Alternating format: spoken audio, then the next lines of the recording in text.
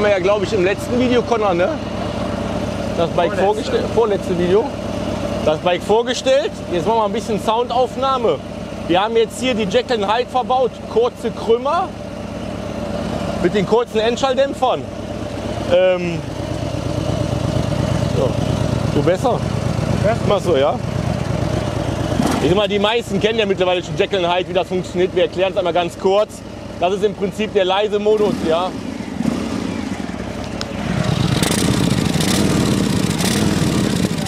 Ach, hast du auch, okay. Jetzt haben wir hier einmal die Knopffunktion, ja. Einmal draufklicken, die äh, Klappen öffnen sich. Der Rest ist wirklich alles original.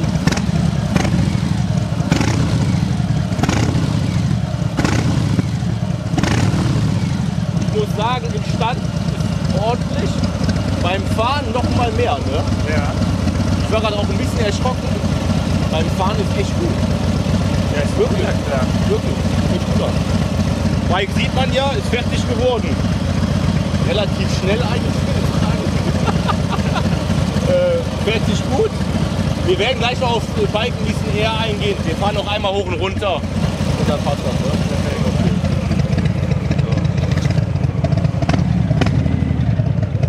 Wir werden natürlich jetzt nicht mit dem Bike irgendwie asozial fahren. Ist ein Kundenmotorrad, von daher Piano langsam, ja.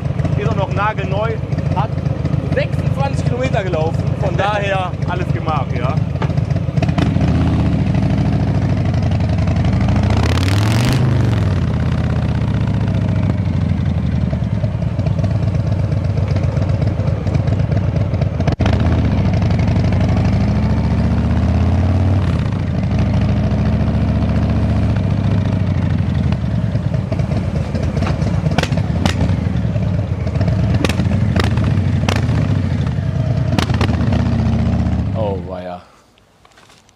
Ist ganz ungewohnt Mittwoch immer. Ist richtig.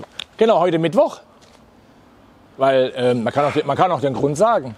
Die beiden Herrschaften haben wieder Urlaub. Wie die beiden. Die beiden Herrschaften haben wieder Urlaub. Nicht die beiden. Die beiden Herrschaften haben Urlaub. Muss sein, ja? Ja.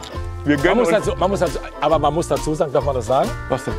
Ich war Er, lange Zeit geht, nicht mehr. er war lange Zeit nicht in Urlaub und er geht und er war, ich glaube, noch nie zwei Wochen am Stück in Urlaub. Nein. Warst du überhaupt schon mal zwei Wochen am Stück im Urlaub? Ja, früher Aber- schon. Aber lang, es ist lange, lange her. Und äh, Connor ist nächste Woche auch weg und ich auch. Und deswegen drehen wir ein bisschen vor. Und da auch das Bike jetzt, das ist Witzigerweise heute fertig auch geworden. Connor, das erste Mal, dass zwei Videos zusammenpassen bei uns. Ja. wir haben ja manchmal noch ein bisschen Komplikation. Das Bike ist fertig geworden, wo wir letzte Woche, nein, Vorletzte Woche. vorletzte Woche das Video drin hatten. Äh, es steht jetzt, jetzt ist fertig. Jetzt können wir das fertige Projekt einmal präsentieren. Ich bin schon mitgefahren, ich bin begeistert. Ich muss echt sagen, cooles Bike geworden. Hat, hast gesagt, hat dich ein bisschen an deine Streetball ja, erinnert, gell? ungelogen, muss ich echt sagen. Auch vom Lenker her. Gefällt mir wirklich gut. Und ich habe nämlich einen Kollegen, der sucht mich gerade eine alte Bob. Und jetzt würde ich ihm sogar mal empfehlen, er soll mal das Ding Probe fahren. Ja, weil du hast ja gesagt, ihr habt euch Motorräder angeguckt. Ah, äh, für 24. Mit, Und ich muss wirklich sagen, also es ist wirklich schön geworden. Was war letzte Woche fehlte, glaube ich, hintere Felge war nicht drin, ne? äh, und, der, Auspuff und der war nicht Auspuff war nicht dran und der Lenker war nicht drauf. Und Lenker war nicht drauf. Felgen waren noch. Genau. Genau. Ja, willst du noch mal, ich weiß, ich muss jetzt nicht alles noch mal durchkauen, da kann man Nee, das im Endeffekt- Video ruhig mal anschauen. Genau, ihr, müsst, ihr müsstet halt einfach auf das Werkstattvideo nochmal zurückkommen Genau. und nochmal zurückspulen. Oder euch das nochmal angucken, wo wir da angefangen haben zu beschreiben. Wie gesagt, jetzt haben wir das Ding fertig. Basis, können wir noch ganz kurz mal drauf eingehen. ja. Basis war ja die 2022er Softail Standard. Kann Antonia jetzt auch wieder das Bild... Streetbob. Hä? Streetbob. Nein, Standard. Nein. Da stand eben Streetbob nein, nein, im Internet. nein, nein, das ist Standard. Streetbob ist die, mit- wo der Motor schon schwarz ist. Echt? Ja, genau. Deshalb musste ja alles schwärzen.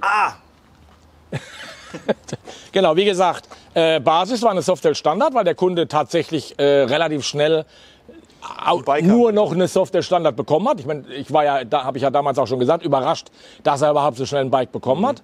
Wie gesagt, äh, er hat das Bike äh, gar nicht gesehen. Wir haben das bei Harley abgeholt.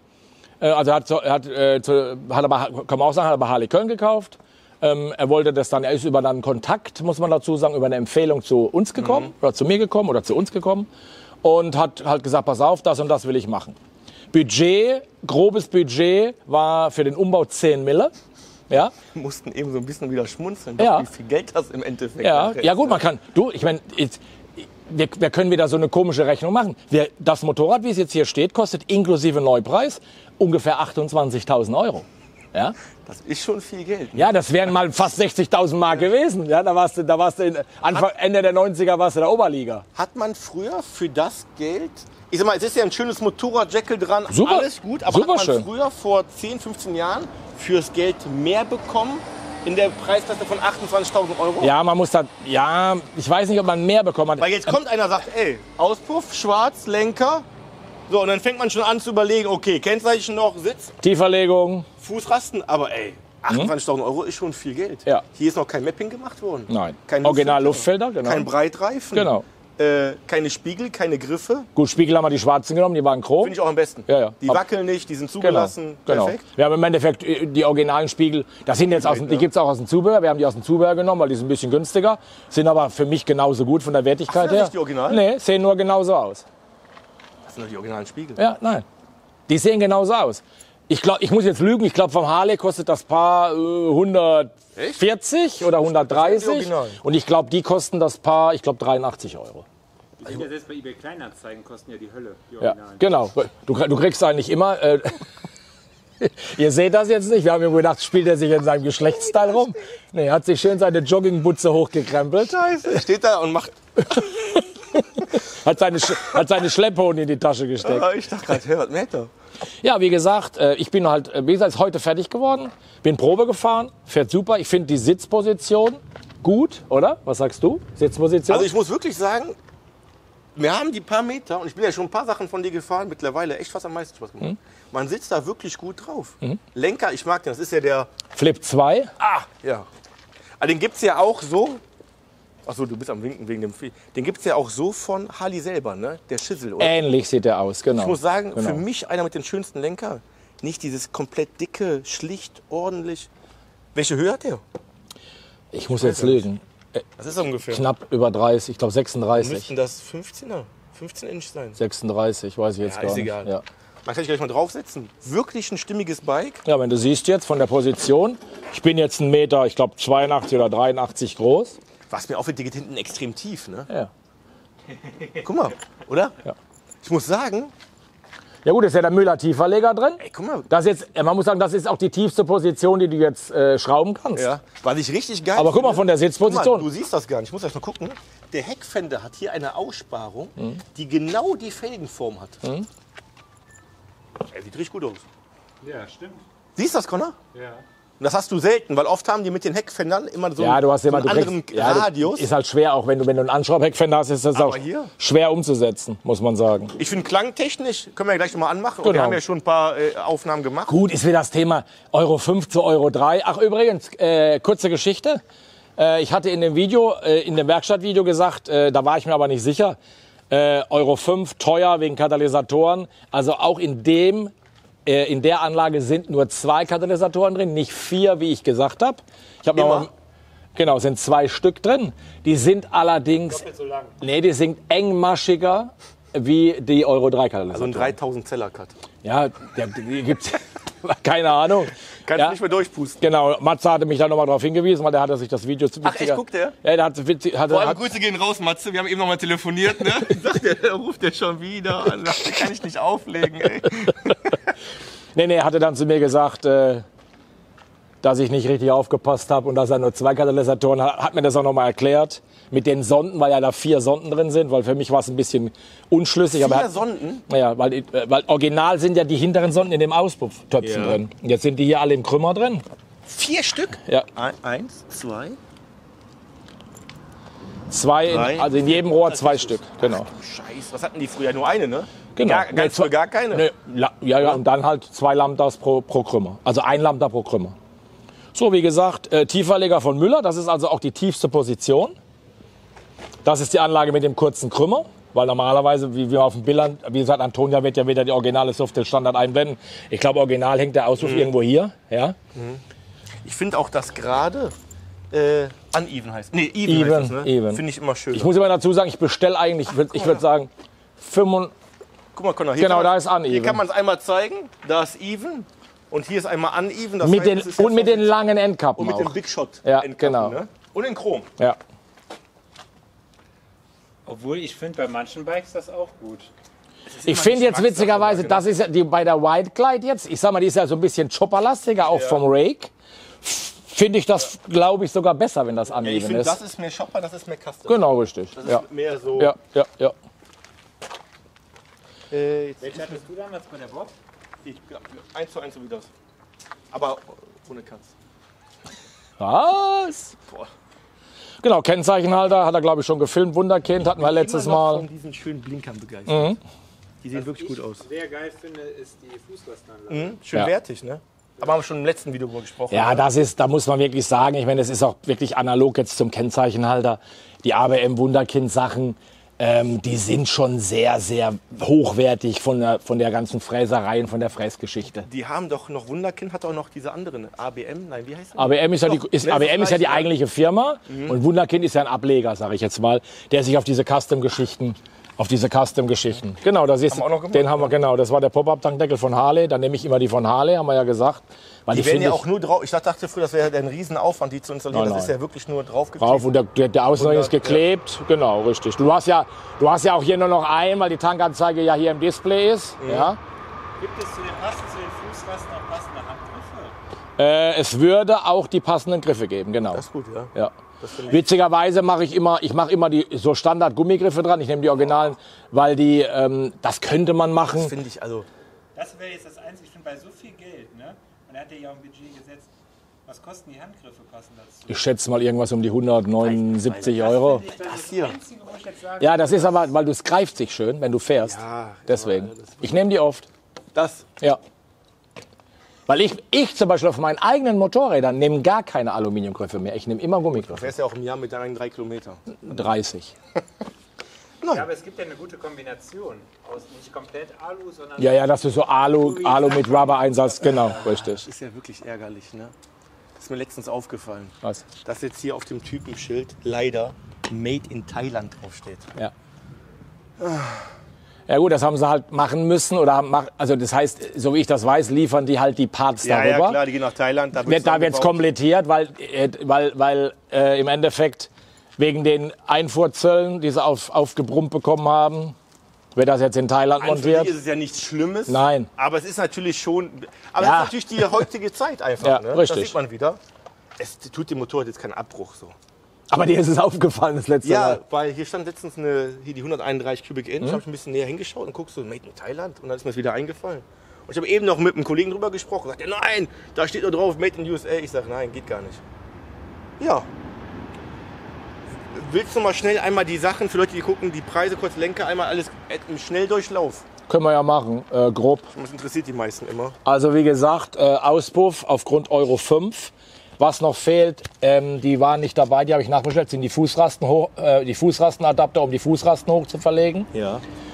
Also die Außenverlage kostet, äh, legt mich jetzt immer nicht auf 20, 30 Euro fest. Außenverlage, kurzer Krümmer, so wie sie ist, inklusive Fußrastenhochverlegung 4.320 Euro. Montage kommt noch da drauf. Ne? Plus Montage, genau. Kannst du rechnen, Montage kannst du rechnen ungefähr dreieinhalb Stunden, sag ich Okay. mal, ja. So, Jetzt dann die, was sind denn dreieinhalb Stunden? äh, mal 90 Euro. 9, 18, 27, also ungefähr, was weiß ich, 320 Euro oder irgendwas, ja. Tieferlegungskit. Äh, Tieferlegungskit Müller, ich meine 349. Das reicht ja schon. Jetzt nicht auf einen Euro festlegen. Nein, Ne? Scheiße. 349 plus Montage, immer plus Montage. Ich glaube, der Lenker von Thunderbike kostet, glaube ich, irgendwas um die 400 Lackiert schon? äh, in schwarz, ja. Ich finde das aber eigentlich noch human, oder? Ja, du hast halt, das Schöne an dem Lenker ist halt, du hast die Kabeldurchführung, du hast hier deine Kappen, die du draufsteckst, das heißt, das ist auf. Du kannst die Kabel sauber innen verlegen, ja. Wie gesagt, Lenker ist immer natürlich immer plus Eintragung. Fußrastenanlage kostet, glaube ich, 1199. Wie viel? 1199. Ja gut, das ist natürlich schon.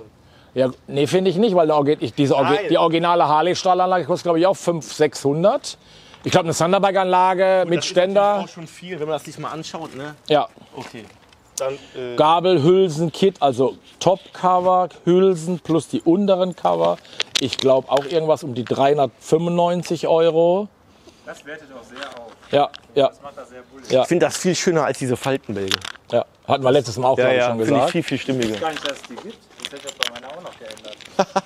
Genau. Tankdeckel von Harley, glaube ich, irgendwie 120 Euro. Ja, ja. Spiegel, äh, äh, die, kleinen Blinker vorne, ähm, äh, 130 Euro. Dann hinten Kennzeichenhalter. die Kennzeichenhalter von Wunderkind, 349 Euro. Dann haben wir Schwarz machen. Schwarz machen, ich habe mal geguckt, äh, die, also die ganzen Sachen Schwärzen haben, hat, glaube ich, irgendwie 980 Euro gekostet. Mhm. Das heißt, also nur das Pulvern. Da muss man natürlich jetzt sagen, ähm, bei dem M8-Modellen ist es viel, viel aufwendiger, alles zu Mhm. zerlegen, wegen den Leitungen, wegen der Kühlung oben, wie bei jetzt deinem Motorrad, wie bei der Euro 3-Geschichte. Ah, okay. Ähm, ich kann es jetzt nicht hundertprozentig sagen, aber ich denke mal, da kommen bestimmt noch mal 500 Euro drauf für die Arbeit. Du, wir werden ja Weil auch gleich, Gabel zerlegen, bla, blub und so weiter, ja. wir werden ja gleich im nächsten Video, wir machen das nächste Video, da werden wir darauf nochmal genauer eingehen. Also Jetzt du mal hast, du hast wegen den Kommentar, Kommentaren wir oder was? beantworten gleich im nächsten Video, also für euch nächste Woche, Kommentare und äh, noch irgendwas. Dass man mal auf die Kommentare ein bisschen Genau, richtig. Da kommt Idee. das nachher nochmal genauer vor. Genau, richtig. Ja. Ganze Beschichte, wie gesagt, äh, die Gummigriffe, die du scheiße findest, irgendwie ein paar 20 Euro. Äh, was haben wir noch? Eigentlich. Sitz. Sitz hat der Kunde selber besorgt. Ist, äh, gut, das böse Wort äh, hat er jetzt erstmal, weil äh, er kriegt ja in Step 2. Ist ja nicht schlecht, wenn man ehrlich Nee, ist. ist ne? nicht schlecht. Er ist in Step 2, bekommt er ja ein anderes Heck. Und er hat gesagt, er will aber die Originalsitzbank, fand er irgendwie hässlich, hat er von Motea die Sitzbank bestellt, die hat er selber bestellt. Bist du am Ja, ist halt, ja, ist halt schwül jetzt, weil es eben geregnet hat. Äh, von Motea die Sitzbank bestellt, die hat er selber bestellt. Finde ich jetzt für den Übergang mal, okay. Jetzt kommt ja nächste Woche. Hör mal, ist er abgenommen? Echt? Hat ein bisschen abgenommen. Ja, oder? aber nach dem Urlaub kannst du noch mal einen Film Ja, machen. oder? Nur ist vorbei, das ist eine Qualle. Ich musste gerade lachen, weil äh, nächste Woche kommt das Video ja von der roten. Wie heißt die nochmal? Ähm, äh, Junto. Genau. Da war ja ein Sitz drauf. Da ist das ja wirklich High-End schon wieder gegen. Das Ja, weil man damals nicht so drauf genau. geachtet hat. Von daher muss ich sagen, ich weiß nicht, was die Dinger kosten. Ich, ich glaube, so ein Sitz kostet nicht viel. Ich glaube, was für sich 150 Euro oder was? Ich habe keine Ahnung. Ich habe da, noch- ich hab da noch nie was bestellt. Dreimal. Ja, ja. Wann kommt der Kunde es abholen? Freitag 14 Uhr. Geil. Das Wetter soll stimmen. Wir hatten tatsächlich auch den Termin gehalten, weil die, der Lenker war noch beim Beschichten. Der kam ein bisschen. Der, Herr Connor, klatsch! Klatsch mal so, wie so eine Seerobbe. warum lachst du? Lachst du Nur jetzt? so. Nur so. Manche Termine werden ja nicht so eingehalten. Ja, er hat sein Motorrad auch gestern abgeholt. Ah, da freue ich mich auch schon drauf. Fahrvideo von der Club Style. Ja. Das Einzige, was noch nicht dran ist, sind die Koffer. Die sind beim Lacker. Ja. Aber das Koffer, glaube ich, daran hängt jetzt nicht. Nee. Da müssen wir mal ein Video machen, dann äh, auch für mich als äh, Andenken, wenn die mal fahren und so richtig. Genau, Komm mal, genau. Connor aus dem Caddy raus und so Autobahn und alles. So. Und vor allen Dingen, was wir ja auch noch machen, da muss ich mit Volker noch mal sprechen, Ja. äh, dass wir das Ding ja noch auf den Prüfstand äh, mappen, weil der Volker ja gesagt hat, er ist mal gespannt wegen 117er und der Kombination mit dem Luftfilter 2 in 1 Jackal, ja, wie sich das so verhält. Da ist er äh, ziemlich interessiert dran. Weil er hatte, vorher hat er gesagt, wenn er kommt, sagt mir Bescheid, dann bin ich nicht da. Da Kamera. Aber dann, wo ich gesagt habe, du, da ist ein 117er drauf, weil seine Frau fährt das. Genau, seine Frau fährt das gleiche Motorrad mit dem Standardmotor und da gesagt, das interessiert ihn dann doch. Also wie gesagt, müssen wir mit Volker nochmal einen Termin vereinbaren, dass man dann tatsächlich auch Ein mal richtiges, vernünftiges Video dazu. Leistungsprüfstand, wie, da, wie er das alles macht und äh, weil es uns ja auch oder dich auch persönlich interessiert, Auf jeden Fall. was das Ding für eine Und auch Leistung immer hat. auch, auch den, den Zuschauer mal, das mal live zu sehen. Krass war, muss ich sagen, ist jetzt wie gesagt, hat mit dem Motorrad nichts zu tun. Ich hab, bin ja gestern ganz kurz zur Probe gefahren, bei ungefähr 39,5 Grad. brutal, ne? Äh, Ich hab, also das ging wirklich kurze Hose, T-Shirt. Ging 0,0. Ich bin, glaube ich, acht Kilometer gefahren, dann bin ich wieder zurückgekommen, wo ich mich dran gewöhnen musste, weil das habe ich ja noch nie gehabt. Äh, Das hat überhaupt noch niemand gehabt. Ist ja die Übersetzung 60 60er Kettenrad hinten. Diese, ich nenne sie immer Club-Style Wheelie-Übersetzung. Da muss man schon ein bisschen vorsichtig sein, wenn man am Gas Halt, dreht. ist halt eine Supermoto Ja, geworden. ja, ja. Schon. Kurz, wirklich so knackig, bap, bap, bap, schalten. Sehr, sehr geil zu fahren, muss ich sagen. Und hängt gut am Gas. Bin mal gespannt. Wir gucken mal. Dann wünschen wir doch dem neuen Besitzer viel Spaß mit dem Bike. Ja. Wirklich schönes Bike geworden. Äh, ja. Allzeit gute Fahrt, würde ich sagen. Ne? Ja. Und dann, Vielleicht sehen wir es nochmal wieder. ich habe zu unseren drei Punkten noch was dazu bekommen. Achtung. Und zwar, man muss immer sagen, ich gucke mir ein paar YouTube-Videos mal an, da sagen die immer bitte auf die Glocke noch Ah, klicken. stimmt, richtig. Das ist eigentlich das Wichtigste. Weil mich schreiben öfters, oder auch den Instagram-Account, den betreue ich ja auch manchmal. Da schreiben viele, wann kommt denn das Video? Ich sehe das nicht so und so. Und dann sage ich schon mal, ihr müsst auf die Glocke. Weil nur wenn du es abonnierst, wird das dir nicht angezeigt. Du musst auf die Glocke klicken und dann wird das Video immer hochgeladen, wenn wir es gerade aktualisieren. Wir wiederholen es jetzt auch nochmal, haben wir letztes Mal auch gemacht. Äh, äh, Die Thematik ist, ihr, ihr braucht einen YouTube-Account, ja, um auch wirklich Ja. das zu supporten und zu abonnieren. Äh, und deswegen wäre es halt ganz wichtig, dass, ein dass ihr euch einen YouTube-Account erstellt. Äh, anscheinend ist das nicht so kompliziert, ja, keine Ahnung. Wir werden mal ein Tutorial machen. Wie gesagt, YouTube-Account, abonnieren, liken, kommentieren, immer konstruktiv, immer gewünscht äh, und Glocke nicht vergessen. Support ist kein Mord. So viel zu dem Dang, so, äh, zu dem Dang, zu dem Dang. Ja, das Wetter macht ein bisschen fertig. Ja. Ich würde sagen, wir rutschen jetzt gleich direkt weiter zum nächsten. Wir rutschen- Für die. Ja, oder wir, du kannst Genau. auch rollen, ich kann auch gehen. Ich kann rollen.